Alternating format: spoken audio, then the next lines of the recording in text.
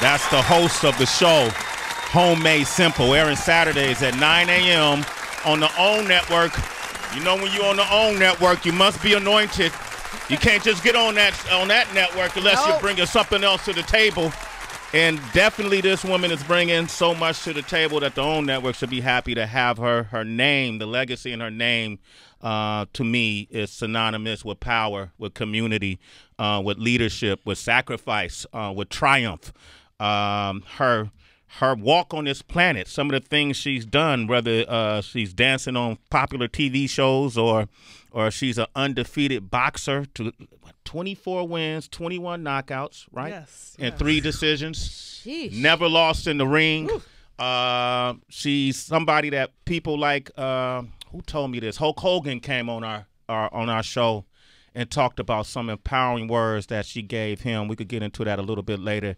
That uh, really helped him and throughout his life. But she's here today. I've always been a fan. I've said this to her sister that her father, the first book report I ever did, uh, was about her father um, after I saw the movie The Greatest. And I thought when every other kid thought they were Bruce Lee, I thought I was Muhammad Ali. Um, and she's here with us today, the one and only Laila Ali. Are you kidding me? I'm ready to retire. Hi. I'm good. I'm good, Laila. What an introduction. Thank you so much. Could have went on and on. I know you got a hard out though. Um, um, where do we start? Let's start with the show. Yes. Okay, let's start with the show. Home Made Simple. I watch you online a lot. You know, you're really to me. You seem like an amazing mom, um, a loving uh, wife. I would probably have to talk to your husband. Uh, uh, but I didn't realize how fantastic of a homekeeper, a homemaker you are. You were always that. You know what? I take a lot of pride in being a mom, being a wife, mm-hmm. being a homemaker. I love to cook. I love to take care of the house. Mm. And having the opportunity to do Home Made Simple has been amazing for me because the show has been on for many years. It's in its ninth season, mm-hmm. it's my third season. Um, but to have the opportunity to work with these families around LA that are so high, so um, deserving. Um, you know, they really put a smile on my face of things that they're doing in their community and then come in and beautify their homes because we all know about in well we don't maybe we don't all know but energy and having a, a home you know coming home your home is where the heart is as that saying came from and you know to go in the home and then cook with these families teach them how to prepare healthier meals for their for their family with with my cookbook food for life. So you know it's just it's just it's just fun to be able to love what you do So, Absolutely, yeah, for sure I agree. That's and what- then it's just a transition for me because you know I also want to take somebody's head off sometimes. You know, Okay. ring, Okay. knock somebody out. You but still then dealing with that? The soft side, just a little. Well, you always deal with that anger that's in there. I'm ready. No, I'm just joking. I'm just joking.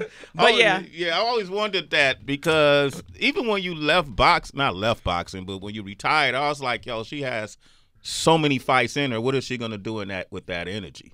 Right. That that because it's a to be a boxer. it's the energy, Right? Yes. And that's what I meant when I said it's always there. But you just put it into other things. Uh-huh. You know, you definitely have to put it into other things. You know, um, I need more energy now. I have children. You know, and being a parent is the most challenging thing that I've ever done. Um, it's also one of the most rewarding. Being a wife, you know, balancing being an entrepreneur, doing the all of the things that I do. Um, but yeah, I still train. I still work out because as an athlete, you know, you have that fire in you, you do have to get you do have to get it out. So I find ways. you still train? Oh well, yeah. I mean, what are you talking about? No, I don't train for boxing. boxing. No, I have Oh, a heavy bag. I do Okay, have a heavy okay. bag every All right. once in a while. I'd be like, oh, I think I want to go spar every once, so every few years. Uh-huh. Um, but yeah, you have to be careful because it's a dangerous sport and you can get hurt. And you're sparring with men. I spar with men, so it's like you know, you you just don't want to. You know, Just jump hurt. in? Not not anymore. For what? You know, I'm uh-huh. not doing it professionally anymore. So you just have to be careful. Yeah. There's always that risk um, of getting hurt. Uh, are you watching uh, women's boxing today? Oh Uh, yeah, You like definitely- Claressa? I do. I like. Yeah. I think that um, she's a talented fighter, Mm-hmm. and she has the opportunity right now. The stage is set. You know, so now she just has to kind of do her thing. I think that the thing about women's boxing is, is that you know there's so much talent out there, but everybody doesn't have the platform. You know, um, you got Katie Taylor, who is Yeah. my fave, amazing, talented, you know, girl. Um, she's getting some pub, you know, and then but just having women's boxing in the Olympics gave it such a platform, and that's where, where Claressa started. And um, you know, I think that you know the problem I had when I was fighting is just that being in there with an opponent who's really going to make a fight. Yeah. It- So that's that's that's that's that's what makes it tough because people want to see I remember when I saw Christy Martin fighting uh-huh. for the first time. I know who she was, but I saw I was turn on the the, the TV to watch Mike Tyson fight. Yeah. and she was on the undercard, which is amazing. It's great to be on the co-main event, but guess what? You're not gonna have that many people tuning in. Mm-hmm. Right. So you actually have more viewers and more power being on Mike Tyson's undercard. That's mm-hmm. why what Christy had, right? So I saw them fight and they got bloody and they were brawling and it was just like the excitement. So people want to see that back and forth. It's like men's boxing. Oh yeah, I was like, I Laila want to do needs that. therapy, yo. I do. I did. I was like, I want to do that. Why, golly? How did I not know women box? So I got it. I've I've been street fighting for free all these years. what? So yeah, I um I saw it, and then but that's what made it great, like the back and forth. Uh-huh. And see, for me, like I remember I fought at Madison Square Garden, and I had to fight this girl. I was like, this is gonna be an easy fight. But the girl I wanted to fight wouldn't fight, wouldn't get in the ring. Mm.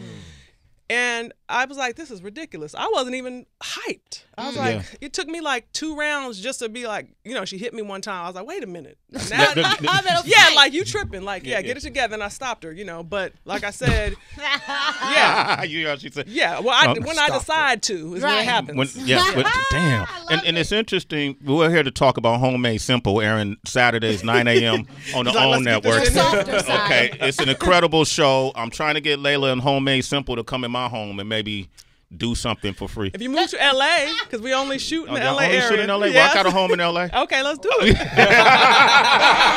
you ain't said nothing, Laila. Um, I had Claressa here, right? And, and jokingly, I uh, we were talking. Of, because here's the thing, Laila. For people try to give you a lot of criticism because of your opponents. Oh, she's not fighting anybody. The competition isn't. I remember those days. You would get some of that. of course, Same way Floyd Mayweather everybody. would get it because he was undefeated. But I think you were above the talent pool. Is um, obviously what it was. Well, the thing is, is that we all, um, in every in men's and women's boxing, you're going to f- face some people that, especially on your way up, right? You know, you you want to learn. It's a business, so of course. With all these opportunities I had as Muhammad Ali's daughter, 1st of mm-hmm. all, I got into the ring with not an amateur fight, not Yeah. one. You, yeah. So I did my learning in the ring under the lights. I was off TV, but I had 80 different media outlets there ready to report. Okay. So I mm-hmm. got into the ring with someone who was 0 and 1. So she had one more fight than me. She lost it. But I was ready for war. I got in there, knocked the girl out in 54 seconds, and I was upset. I was like, "Ugh, well, I trained all this time, but my handler's like, what is she gonna do when those lights are on, when mm-hmm. everybody's watching? So you got to move someone along the right way, and then eventually, you know, of course, all the girls were calling me out. All the girls were world champions. I was like, I'm gonna get to you. I'm gonna get to you when the time is right, and I did. And then it made it look easy. It made it look easy. But they had all more experience than me, and the thing is, is that you know, even with Floyd, because he's so amazing, he gets in there with someone and makes it look easy. That's just how it is sometimes. But you you have to fight some people that you know we, we call them bums in boxing. Mm-hmm. Everyone does. yeah, and then you're gonna fight some people, and then in women's boxing, you might have someone like in Claressa's case, she's got 80 amateur fights. You're uh-huh. fighting someone that might be 20 and 0, but they don't have any amateur fights, and then it's just like they might be a champion, but then it's like, how are you? Then they- the person looks like they don't even know how to fight. Uh-huh. Like, wow, how is this a champion? So it doesn't really make women's boxing look good. So that's the, mm. that's what we face. Did you almost fight Ann Wolfe? Did you guys almost come close? We did, um, and it never happened. And that's the whole the whole story is I wouldn't fight her. But uh-huh. actually, if you if someone really want do their research, uh huh. they will see that in the beginning it was we're gonna fight when the time is right. Then she actually was put on my undercard by my ex husband, Uh huh. who was my promoter at the time, to fight Valerie Mahfood, who had knocked her out prior, her only knockout loss, who I beat twice, like easily. Uh huh. Uh huh. And it was like, you guys are gonna have a rematch on the undercard of Laila Ali, Christy Martin, because we're gonna promote our fight. We were supposed to fight next. Why would I promote this girl, put her on my undercard if I wasn't gonna fight her for the whole world to see and want to fight her? She pulled out and wouldn't fight. And then it's always Laila won't fight, Laila won't fight, Laila won't Why fight. did she That's pull not the out? case. Because she said it wasn't enough money or whatever the case. Look, I don't care how much you pay me. If I'm the best Uh-huh. and I feel like I can win, and she had said years before, I'll fight her for a hamburger, I'll fight her for whatever. You get in there and you whoop me for the bragging rights, then you get the fame and the money afterwards. First of all, there wasn't a lot of money for either of us. Not- not in They make boxing. that Yeah. excuse all the time. Yeah. I don't want to hear the excuse. You've been calling me out. You keep saying it's me. And then she said it on an ESPN interview at one point. It wasn't enough money. She said it out her mouth. But the fans and folks who don't know any better always want to make it it's about me. But it was her that would not fight me. I'm the one that's undefeated. I'm the one who's never ever gotten whooped, beat, even looked like I was about to get beat. Valerie Mahfood knocked her out, which I'm telling you is nowhere near as strong as me. And there was a girl named Vienna Williams. Go look that fight up. Uh-huh. Smaller, lighter weight, beat that butt. And mm-hmm. they gave Ann Wolfe the fight. So, like I'm saying, she knows she'd rather go down in history as a woman who I wouldn't fight than actually get in there with me. Because the thing is, is they judge me by my looks, and when they mm-hmm. see that dog, she won't even look me in the eye this way. To this day, She won't even. I'm telling you, I oh, haven't seen her, but I'm talking about back then. I used to say, "How you doing? I can't wait till we fight." She's just like, "Yes, ma'am." She said, "Yes, ma'am" to me, and I was like, "What is this?" Like, I've I've, call, I've tried calling her. yeah. Like I've tried. Can you get her on the phone with me because I'm gonna tell her stop running her mouth, or I'm gonna mm. come out there to Texas and find you, mm-hmm. and then we can get in the ring and we can spar and we can show. Because I'm that kind of person. I mm. I look. I try to help people as much as I can, mm-hmm. Mm-hmm. but I'm telling you, I am when it comes down to um, character and integrity. I'm not afraid of anybody. Period. You got that from I your daddy? Claressa sparring when I talked Did to you? her. Yeah, she she reached out to me when she first won the Olympics, and we talked, and I gave her some advice, and I said, "Hey, you ever want to spar?" And she's like, "You want to spar me?" I said, "Clar- "Calm down, calm down, young buck." I said, "Look." Calm down. I'm saying to work. I said I'm not in shape. I said, but I can go four rounds at any time. It uh-huh. never happened. She didn't take me up on the opportunity, but I offered it to her because I would have jumped at that opportunity if it was me. Yeah. Well, she came by the show just before uh, she became three division uh, world champion. Mm-hmm. And, and jokingly, we were talking about women's boxing, and I'm a big fan of yours. And, and she was talking about the folks that she's prepared to fight. Y'all sound similar, similar energy. And I asked her who does she think would win, and you against you in your prime and her now. And this is what she said. On the back of her sweatsuit, Heather, oh. what does that say? Lord? Quote. Quote. And that stands for Greatest woman of all time. greatest woman of all time. Wow. Belt game. Well, you know Laila Ali though. Come on You now. got to start it right. Don't do it to Laila. Mm. Come on, don't. Listen, I like Laila my though, girl, but You talking about she don't not cut like me. She Laila. don't take the challenges. Like she didn't fight against Ann Wolfe. I fight against the best and beat the best. And if Laila Ali was to come out of retirement, I beat her too. Oh, well, to stop that. Come on. That's not what I'm saying. I'm just saying, One okay, time. Laila did bring a lot of attention to female boxing though. You know, no, exactly. yeah, you yeah. know, without her, it would never got started. That was just enough. Laila about to leave the interview, go straight to the gym. to Take the ring off. No, no. Laila. That's not anything I haven't heard before. First Okay. of all, she's supposed to feel like she's the greatest. Absolutely. But just because you think you are doesn't mean you are. Okay. But I will say this. Um, we I like to support and uplift people and I think that on your way up, just do your best not to disparage those that have come before you.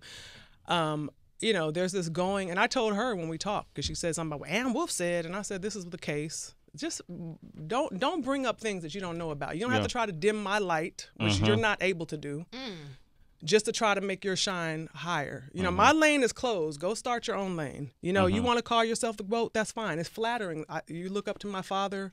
We both thought that was cute. Mm-hmm. That was sweet, you know, but at the same time, you know, she first of all, she could never beat me. Let me just get that really straight right You want to get that straight, Laila? Let's get that straight right now. okay. We're not even in the same weight class. I know that she walked around heavier, but that would not happen. Mm-hmm. Um, and and not simply because she's not strong enough. Okay, because I would definitely knock her out. Um, but because she's not talented enough to beat me. You're talented. You can box. You can Oh shit! Look out, Rich. you can throw those hard, hard punches. But there's a sweet science to boxing. The reason why you have not been able to knock out the opponents that you've already faced, I can totally see it. Why? Mhm. But maybe if you would have been a little more respectful, and I'm not talking about thinking you can beat me and call that, do all that. I'm talking about just trying to.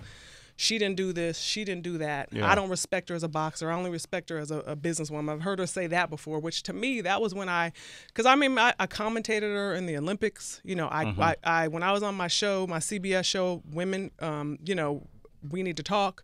I said, let's do a story on Claressa. I flew to Colorado. I sat there. I interviewed her. I posted about her on my page. She Mm-hmm. would text me before her fights. She would ask me advice. I was always there for her because she's a young black girl from Flint, Michigan. Yeah, Flint. And I want to help uplift her because that's the Ali way. Uh-huh. That's the that's the cloth that I'm cut from. Mm-hmm. I am successful in so many areas outside of boxing. Boxing is not what defines me. Yeah. So I'm not like, oh my God, there's a girl coming. There's always going to be another girl. Mm-hmm. But I tell you what, when I offered her to spar me, that definitely was a, a, a check right there to see. Let me see what kind of heart she has. Uh-huh. Because you should come whoop me just for bragging rights. Uh-huh. If Muhammad Ali offered a young upcoming fighter to spar, you'd be like, yes. I'm jumping in that ring. For sure. But I know we that conversation changed and she didn't take me up on that offer. I said, okay. So Mm-hmm. my thing is, I get it. You know, you could say what you want to say because I am retired. I'm 42 years old. You know what I mean? And, and let's put this in context. I'm only talking about this because you're asking me. 'Cause I'm, I, you don't hear It me. ain't talk- on your mind. You didn't bring it up. you don't hear me talking Yeah. about it. You don't Yeah. Uh-huh. hear me because I'm a grown woman, married with two children, who has a whole lot of things going on Mm-hmm. that I'm not going to sit here and try to speak negatively about a young girl. But I would say you definitely hope you know better, you do better. If you know better, you do better. You know better, Laila do Ali. better. Um, She didn't want those hands. No, don't do that. those No. Rich, hold up. sorry. Claressa's excellent. She you didn't know, want those she, she said she said what she's supposed to say as a champion. Yeah. And yes, and Yeah. like I said, she needs to focus on the talent uh, because she is a Get talented some water. fighter. Get Laila. Get the champ some I have, water. I have some Oh, coffee. okay. I know, but All right. I she does need to. I would say, and I would say this to any boxer that now she needs to refine her skills because there's you, you know I know she wants to knock her opponents out. She said in her last fight, she couldn't do it. The girl was in there, wasn't doing anything, was holding on. I don't care. You have to learn how to keep someone from holding you. You got to uh-huh. learn how to keep your distance. You got to learn how to hit them with the right hand when they're coming on the inside. You got to learn how to not just throw three jabs. What's coming behind that? What are you setting up? You know what I'm saying? Especially when you drop somebody with a body shot. I saw the fight. yeah. So now, I mean, but I, what would I? do? Come on, if you You put me in there, I'm gonna finish you. Period. 24 wins, 21 knockouts. Exactly. Laila Ali. Have you want to ask one last question? I know they got it. Hi, Heather. Laila. I don't want to go. I'm staying. I just want to say thank you to your face because you have been so supportive of me. I've been supporting you. I told everybody go buy your seasonings. Thank you you. haven't even had a chance to talk about that today, That's all right. but yes, her seasonings are incredible. You are just so dope. Just supporting. Heather. you don't get out here and try to make it so obvious. You just you just always in my corner, and I just want to say no pun intended. And Just she knows you. that because I've been liking her recipes. She's cooking. I'm like, wait a minute, Heather really know how to do something. No, Yeah. thank you. You just you just Thank you. rock. Thank, Thank you, you. Laila. that. Thank you. Laila, uh, can you come back one time and we could talk about other stuff? Too? Yeah, she has so I- I much really- dope stuff going on. I Yeah. swear. Um, and then honestly, your father was like outside of my grandfather, immediate people, but he was my first hero. You know what I mean? Yeah, I and know. and I and I got some questions from second grade that I want to ask. you. That didn't make the book report. Look, You know how many emails I get from kids with doing their book reports on Muhammad Ali? Like, I can't answer all of them. I mean, this man, you can go, you can Google him. You can there's videos, there's uh, there's books. I mean, so I can't. But I, I think that's amazing. He was my first book report too. Right. Was he really? Oh yeah, I was man. lazy. I was like, "Ma- I'm Muhammad Ali. I'm doing it on my father. You know what Uh-huh. I'm saying? But yeah, so I, I think that's amazing. I mean, we've all been. T- that is who I grew up watching. Yeah. Mm. Okay, in my household, and what I what stands out most to be me about my father, what makes him so different than everybody else. He loved himself so much.